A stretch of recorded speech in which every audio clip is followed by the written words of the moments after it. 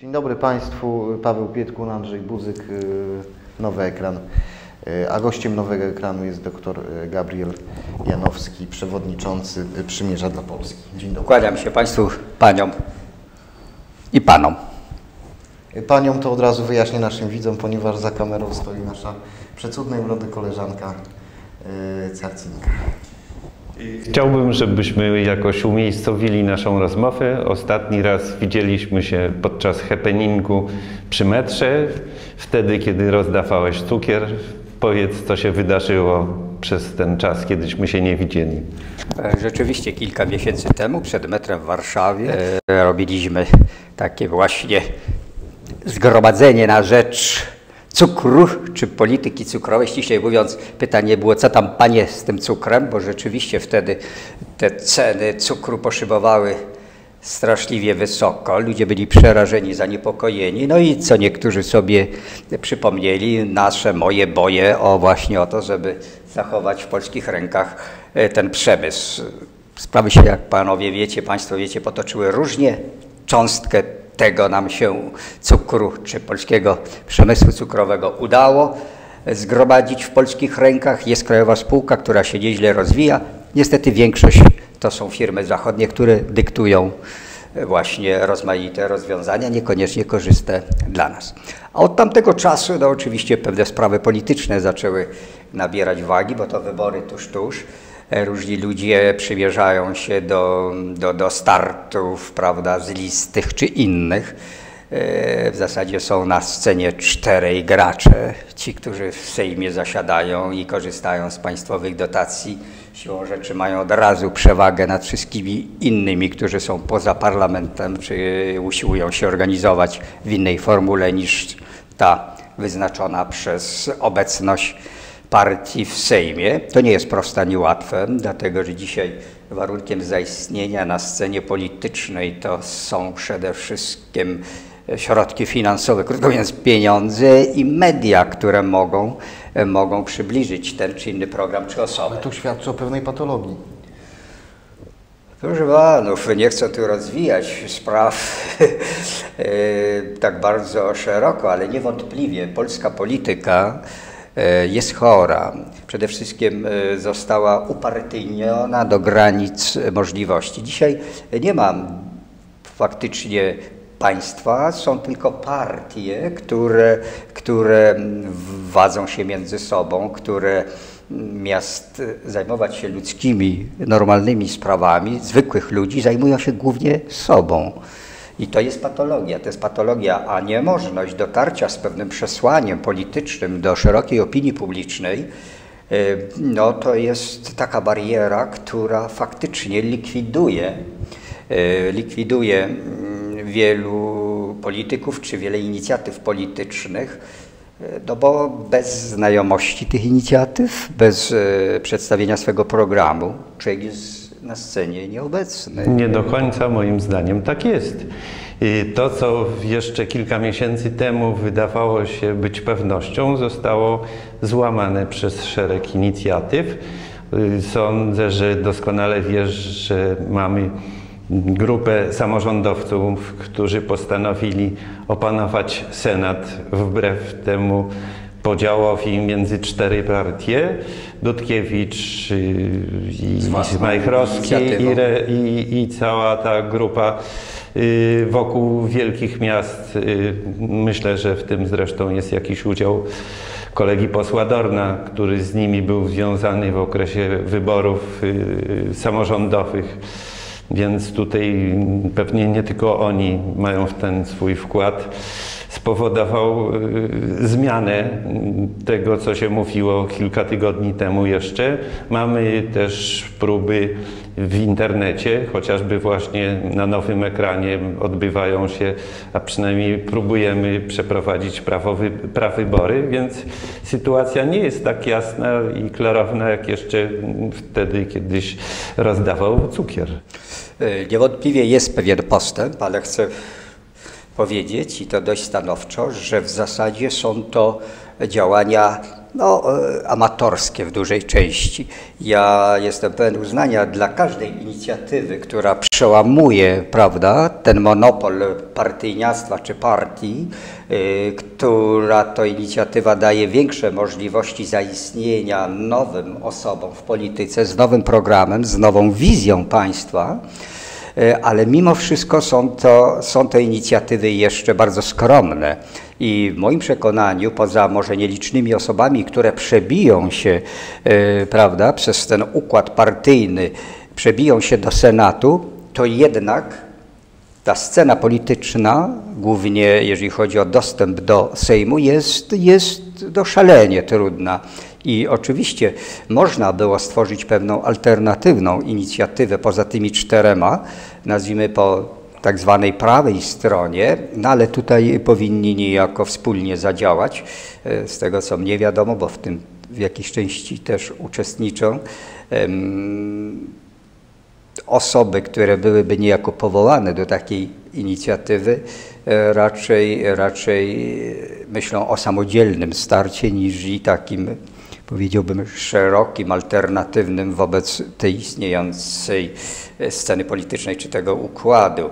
I na pewno, no, mówiąc obrazowo, Marek Jurek, Korwin-Mikke, Janowski i parę jeszcze innych osób, to są osoby rozpoznawalne, które gdyby zaproponowały spójny program, prawda, to myślę, że poruszyłyby pewne warstwy wyborców, mówiąc tak bardzo obrazowo, wyborców no, chrześcijańskich, ludowo-narodowych, konserwatywnych, prawda, bo taka jest scena, takie jest polskie społeczeństwo i myślę, że to była pewna myśl, zresztą z którą wystąpiłem tutaj choćby do tych osób, o których tutaj mówimy, e, jako szef przymierza dla Polski, E, ale powiadam, niektórzy politycy być może muszą kolejną przejść jeszcze próbę.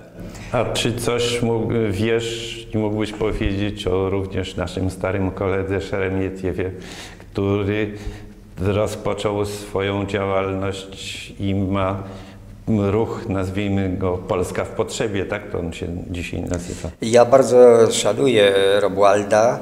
E, bo był też boleśnie doświadczany, prawda, e, ponieważ często nie pasował do układu, jak to się powiada popularnie.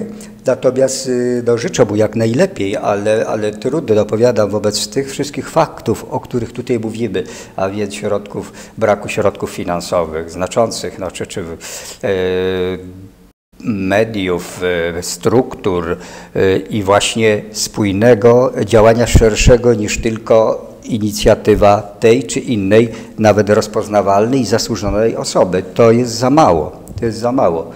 I dlatego tak mnie się wydawało, że, że taki układ dość szeroki, niekoniecznie tak bardzo, yy, prawda, yy, partykularnie traktujący swoją działkę, myślę tutaj o tych przywódcach czy uczestnikach, miał szansę. Miało szansę. E, natomiast e, niestety jest już bardzo krótki czas i dzisiaj zorganizowanie, nazwijmy to, listy wyborczej, na którą zagłosują, prawda, no nie w jednym, w dwuprocencie, ale, ale, ale, ale, ale w sposób taki, powiedziałbym, przełomowy, Yy, wyborcy jest dzisiaj trudno, krótko mówiąc, ale życzę wszystkim jak najlepiej, bo Panie to Gabrielu, bo tak potrzebne. naprawdę y, polska polityka popadła w ten e, najgorszy z możliwych błędów, że tu wszyscy politycy walczą o, e, o głosy tych e, 30% mniej więcej, którzy i tak głosują. Nikt nie walczy o głosy tych, którzy się na politykę obrazili i wolą siedzieć w domu, przyjmując, że to, co się ma stać z Polską, to i tak się stanie. I nie mają na to wpływu.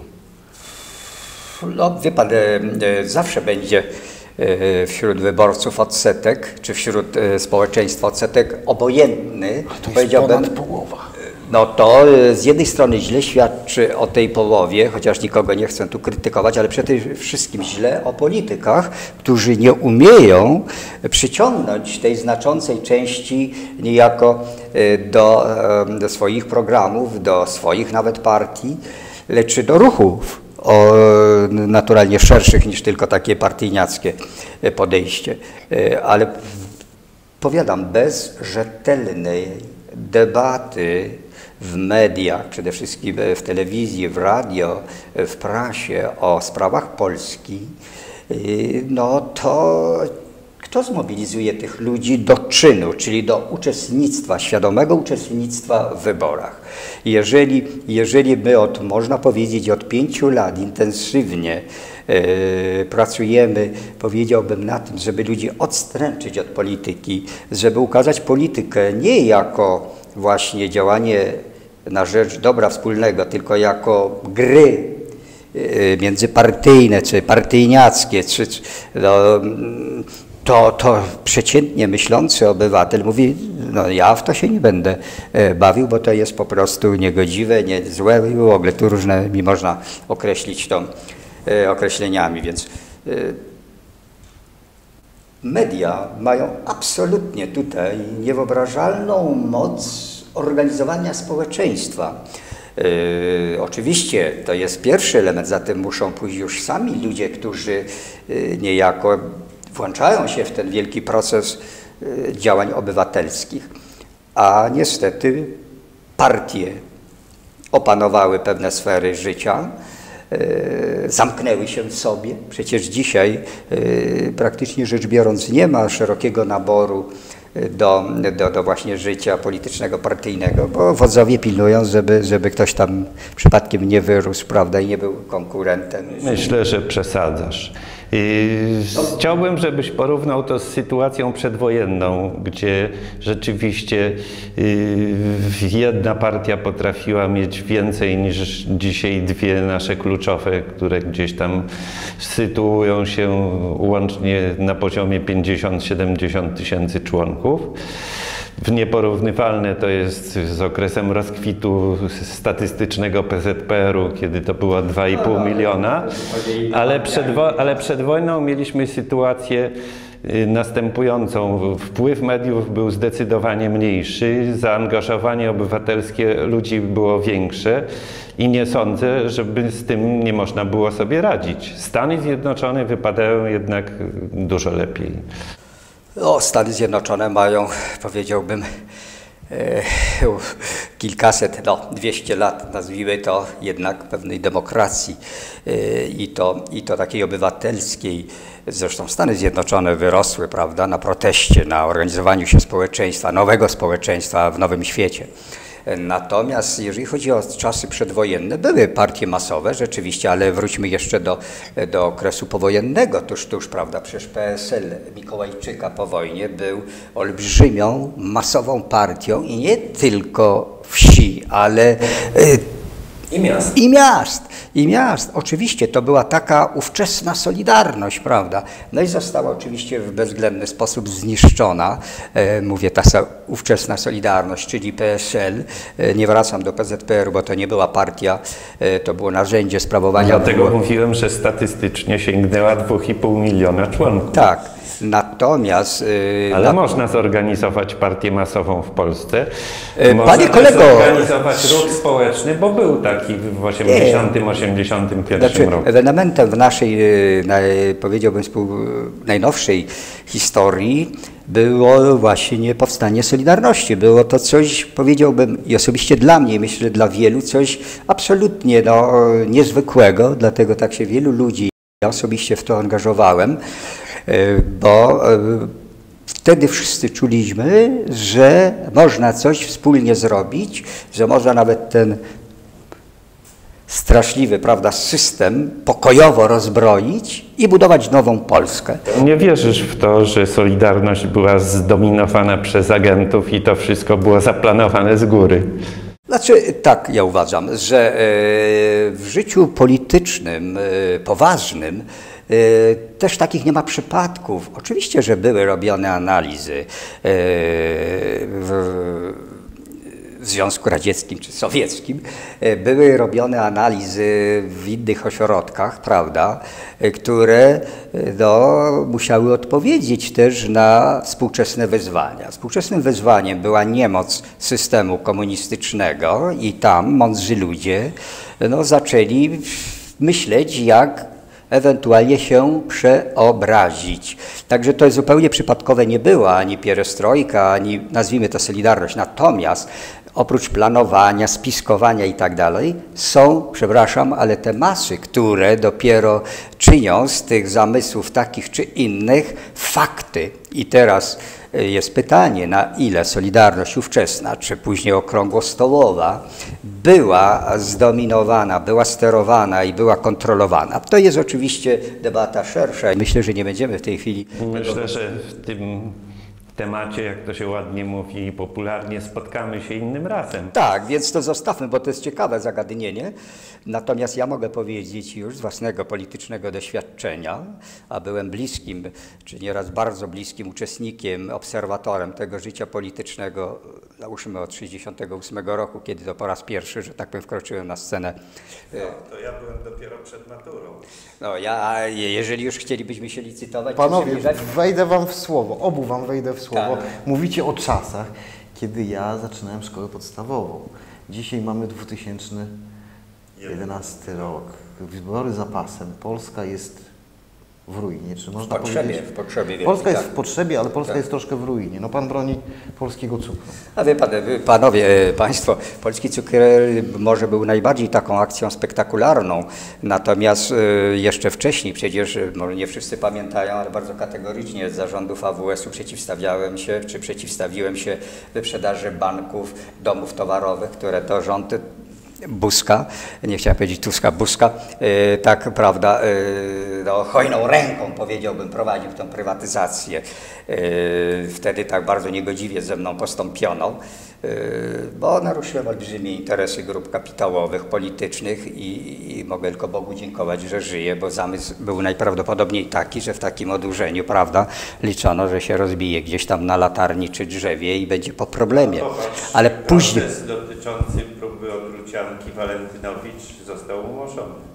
Tak, i to jest bardzo przykre. Natomiast dla mnie też jako obywatela, jako już człowieka, no było szalenie przykre to, że, że nikt mi nie wtedy e, nie przyszedł, e, że tak powiem, z pewną pomocą e, na odsiecz. E, Ja pamiętam, zwróciłem się wtedy do, do marszałka Macieja Płażyńskiego. Mówię, słuchaj, przecież pamiętam, to, co ze mną zrobiono, to, to, to, to, to nie było gdzieś w knajpie, to było w Sejmie. Proszę, zajmij się tą sprawą, wyjaśnij. A my do mnie, a wiesz, to pójdź tam do dziennikarzy, powiedz ty, tę ekspertyzę, przedstaw, że tamto. Bo. Y, Na, y, zwróciłem się do UOP-u też, to pani rzecznik y, ówczesna powiedziała, nie, to nie jest dla nas sprawa. Jedyną osobą, która się w tym czasie tak stanowczo po mojej stronie opowiedziała, był pan Hansen, doktor Hansen, który przygotował tę ekspertyzę i który wystąpił nawet do czynników tak zwanych oficjalnych, by się tą sprawą zajęły. Nikt się nie zajął, ani prokurator generalny, wtedy bodajże pani Słocka była i jeszcze inna osoba, ale to już jest przeszłość, ale to dowodzi, tak, dla, dla wielu zupełnie, zupełnie już, prawda, że no, sprzed, sprzed, sprzed wieków, jak to Ach, się powiada. Chociaż w ludzkiej pamięci te obrazy niegodziwego takiego działania ze mną żyją. Ale wracając Żyjesz w internecie. To właśnie tam są. YouTubie, jak mówią młodzi. No właśnie, więc to, to, to, to, to już jest nie do wykreślenia. Natomiast dobrze, żeby opinia publiczna wiedziała, skąd to się brało, dlaczego tak się e, stało, czy tak się dzieje. Przecież później bardzo stanowczo występowałem w obronie Stoenu. To znaczy w tym sensie, żeby go nie prywatyzować w taki, powiedziałbym, nie, niedobry sposób, sprzedając, ale właśnie prywatyzując go z udziałem gminy Warszawa, pracowników i konsumentów. I, I wielu mieszkańców wtedy, pamiętam, Warszawy pisało do mnie listy, że chętnie kupiliby akcje Stoenu. To była znakomita i jest już firma dochodowa, energetyczna. Mówisz o Stołę, nie wejdę ci w słowo, a co sądzisz o obecnej kampanii, żeby przeciwdziałać prywatyzacji specu? T- Znaczy, ja mam taki pogląd e, w ogóle na, na temat prywatyzacji. Prywatyzacja jako jeden z elementów, powiedziałbym, e, życia gospodarczego, prawda, e, czy własność prywatna, no ma, ma, ma sens. Natomiast Teraz pytanie, czy w odniesieniu do tego przedsiębiorstwa, w tym czasie, na takich warunkach i tak dalej. Tu już jest odrębne zagadnienie i, i wtedy no, możemy kiedyś też na temat No nie jest problem. Praktycznie rzecz biorąc nie mamy w tej chwili już przedsiębiorstw prywatnych albo e, państwowych, albo za chwilę nie będziemy mieć. Ja generalnie uważam, że e, przedsiębiorstwa typu właśnie spec, te, które działają w obrębie, prawda, e, komunalnym, e, winny być spółkami właśnie e, e, samorządu. Powinny być spółkami również innych graczy, którzy mają w tym interes, by uczestniczyć w tych przedsięwzięciach, ale nie czysto, nazwijmy to, nastawionymi na bezwzględny zysk spółkami, bo jednak są przedsiębiorstwa, które trochę e, mają inną rolę niż tylko przynoszenie zysku właścicielom. Ja panu powiem, to, bo to jest troszkę tak też, że y, to nie boli, y, że polskie przedsiębiorstwa mają innych właścicieli. Y, Tylko, że one zostały oddane za bezcen praktycznie. Po co te, te ostatnie prywatyzacje? No po to, żeby załatać dziurę budżetową. A to jest kolejne zagadnienie. Ma Pan rację. Prywatyzacja, tak jak ja ją rozumiałem, miała w moim przekonaniu służyć upowszechnieniu własności. To po pierwsze, podniesieniu efektywności gospodarowania. Yy, Tego nie widać zupełnie. Te prywatyzacje nie poprawiają produktywności. No więc o to- Model japoński czy niemiecki po II wojnie światowej zupełnie się u nas nie zaaklimatyzował. Tak, dla, i ja boleję nad tym, że e, ta szeroko rozumiana Solidarność, nazwijmy to, nie wykorzystała właśnie tych przemian do tego, żeby to, co ja nazywam, upowszechnić własność, prowadzić prawdziwie kapitalizm ludowy. Ja byłem i jestem rzecznikiem akcjonariatu pracowniczego. Pamiętam jako wiceprzewodniczący Obywatelskiego Klubu Parlamentarnego yy, gardłowałem, jak to się powiada, właśnie za takim modelem między innymi prywatyzacji i to było mniej więcej przez, pamiętam, trzy miesiące w jakiś sposób e, aktualne i, i, i aprobowane, a później już w końcu roku 89 przyszła zupełnie odmiana i nie będziemy prywatyzować tylko z udziałem e, tak zwanych strategicznych czy branżowych e, inwestorów, pomijając właśnie ten e, moment czy charakter, o którym tutaj mówimy, akcjonariatu. I tutaj na plus muszę sobie czy nam zapisać, że e, wracając do polskiego cukru, że to, co zostało, prawda, i jest dzisiaj własnością Krajowej Spółki Cukrowej, będzie prywatyzowane z udziałem, bo tak zapisaliśmy w ustawie, z udziałem pracowników i plantatorów, czyli te dwie grupy staną się właścicielami y, tej firmy. I bardzo dobrze. Ale to nawet nie jest 10 zakładów. No, znaczy, musimy mierzyć to udziałem w rynku. To jest niecałe 40%. E, moją ambicją wtedy było to, żebyśmy mieli przynajmniej 60% udziału e, jako Krajowa Spółka Cukrowa. Niestety sprzedano najlepszą wtedy spółkę, Śląską Spółkę Cukrową, niemieckiej firmie Cukier, prawda? E, podobnie poznańską i tak dalej. Stąd ten polski cukier nie jest tak duży, jak mógłby być i przynosić pożytki i polskim konsumentom, i polskim pracownikom, plantatorom. Dobrze. Zostało nam do wyborów y, ile czasu? Andrzeju, wspomnij mi. Trzy miesiące. Trzy miesiące będę pisał pamiętnik, tak, że od 9 do 9 wszystko wskazuje na to, że 9 października y, będzie wyznaczony przez prezydenta termin wyborów jednodniowy.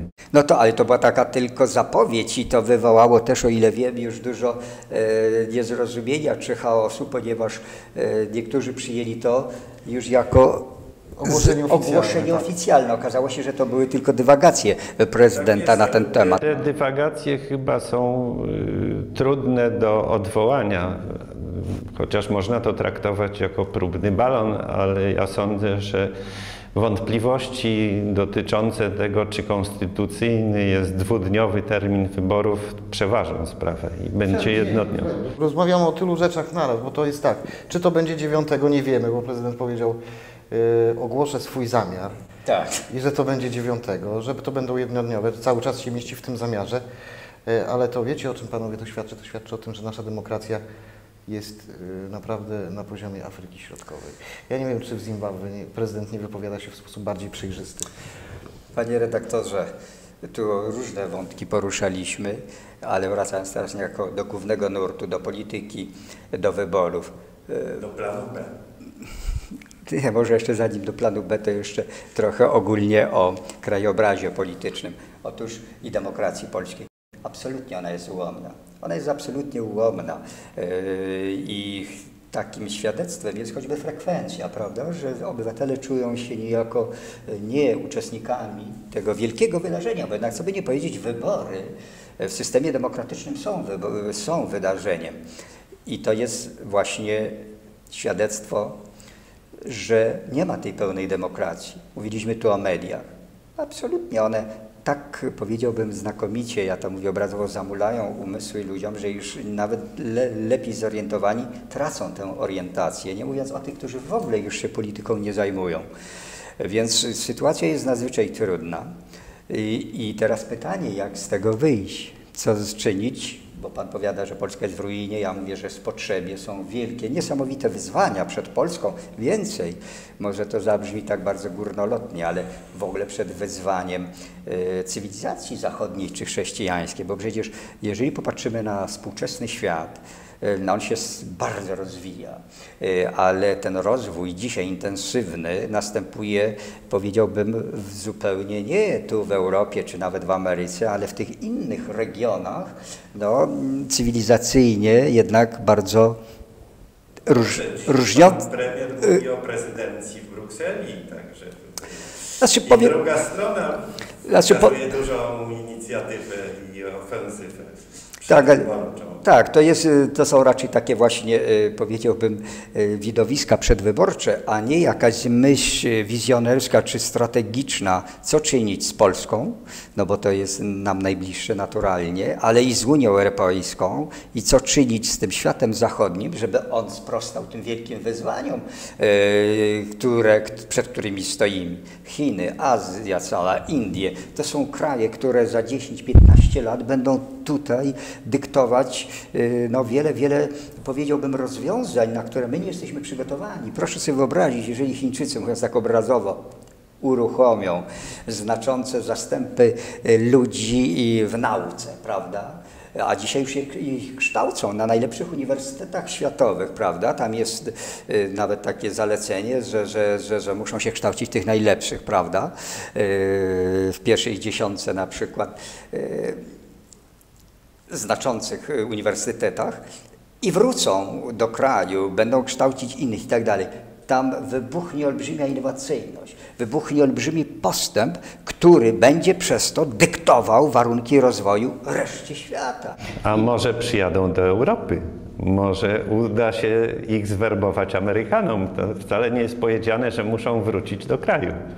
E, to jest ich sprawa, ale na, nie, nawet jeżeli nie wrócą, czy częściowo wrócą, to jednak tam są tak wielkie zasoby ludzi i, i przy tej polityce państwowej, centralnej, ukierunkowanej właśnie na rozwój choćby tej innowacyjności nauki, e, to powiadam, będzie tam wielki wybuch, który zagrozić może e, naszej pozycji, mówię szeroko rozumianej cywilizacji zachodniej, w Europie, no i Polsce w tym i tak dalej. Więc to są wyzwania, przed którymi stoimy. Myślę, że powinniśmy Również. Zadbać, zadbać o to, żeby y, kampania wyborcza krótka, bo ona będzie krótka i gwałtowna, żeby odbyła się w formie debaty publicznej na temat tych wszystkich potrzeb y, które Polski dotyczą. Ale zgadzam się z Panami. Ja liczyłem być może w swojej naiwności, że na przykład wybory samorządowe, które były w ubiegłym roku, będą taką dobrą okazją, żeby przeanalizować właśnie e, to, co jest związane z naszą samorządnością, z podziałem administracyjnym, który wprowadziliśmy 10 lat wcześniej. I to był taki, powiedziałbym, dobry moment krytycznej analizy stanu posiadania, co należy ulepszyć, co zmienić, zlikwidować. W ogóle nie było takiej merytorycznej, rzeczowej debaty. E, myślałem również, że wybory prezydenckie będą okazją do tego, żeby przedstawić jakąś wizję no, ustroju Polski, czy ale nie tylko wizję, ale i próbę zmiany niektórych rozwiązań e, ustrojowych, które są szkodliwe są szkodliwe, bo choćby ta przysłowiowa taka blokada pomiędzy urzędem prezydenta, premiera, e, nie służy w zasadzie sprawności państwa, egzekucji pewnych y, praw i tak dalej. Y, y, Ja zresztą zawsze swoim rozmówcom mówię, patrzcie na kraje ościenne, jakie mają, jaki mają ustrój, bo tam, jeżeli jest on efektywny, to automatycznie te kraje lepiej się rozwijają, a przez to nam zagrażają. Tak było zresztą w okresie przedrozbiorowym. E, Tam, e, powiadam, wtedy nasi sąsiedzi mieli ustrój, no nazwijmy to delikatnie mówiąc, odmienny od polskiego. U nas była właśnie ta pełna demokracja, niektórzy mówią anarchia, która prowadziła do, do, do, do upadku państwa, a tam były e, absolutystyczne, prawda, e, bardzo kategoryczne w swojej egzekucji ustroje, które doprowadziły do tego, że te państwa się rozwijały. Mówię tu o Prusach, e, prawda, Rosji, w sensie, prawda, ekspansji również terytorialnej i to kosztem, no, okazało się Polski. Dzisiaj mamy podobną sytuację. Niemcy mają sprawny ustrój kanclerski, prezydent jest dekorum, spełnia swoją rolę. E, Rosja ma taki ustrój, jaki ma, ale proszę zauważyć, e, jaka no, tam przemawia, nie chcę tu być obrońcą, ale mądrość polityczna, no bo ci dwaj panowie na oczach publicznych, mówię o prezydencie i premierze, nie wadzą się o taką czy inną trzeciorzędną sprawę, tak jak to miało miejsce w niedalekiej przeszłości w Polsce, prawda, o krzesło w Brukseli, miejsce w samolocie, etc., etc. To były żenujące widowiska, nie chcę tu nikogo winić, ale e, ludzie na określonym poziomie, mężowie stanu, nigdy by nie dopuścili do takiego, powiedziałbym, stanu rzeczy. A niestety miało to miejsce. Jako Polak się po prostu no, nie zgadzam z tym. I wracając do tego właśnie wątku zasadniczego, nie było w okresie kampanii wyborczej prezydenckiej właśnie w zasadzie ani jednego kandydata, który by przedstawił spójny program e, ustrojowy.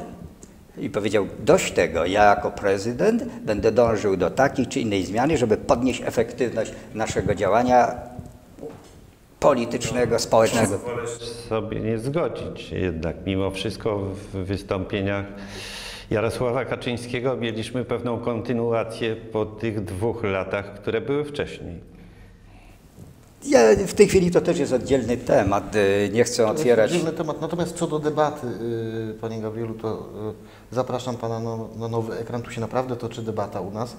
Debata, w której wszystkie strony stoją na równej pozycji, mają głos tak samo i poddają się tak samo często surowej ocenie, y, ocenie y, czytelników i widzów nowego Dobrze, dobrze. W Polsce brakuje właśnie takich, nazwijmy to, niezależnych y, mediów czy, czy forów, na których by można swoje poglądy przedstawiać y, nie w sposób prawda, ograniczony czy przez cenzurę kontrolowany, ale tak, żeby do opinii publicznej docierać z pewnym przesłaniem. A mamy absolutnie bardzo, bardzo, bardzo wiele do, do, do, do omówienia, do przedyskutowania do, i również i zaoferowania. Myślę, że jeszcze nie raz spotkamy się y, na nowym ekranie. To żyję głęboką nadzieją, że będzie Pan naszym kolegą z łamów. Natomiast Ja życzę, żeby ekran był coraz szerszy, szerszy i większy, prawda, w sensie odbioru i znaczenia. Natomiast na pewno jeszcze nie raz spotkamy się y, w telewizji nowego ekranu.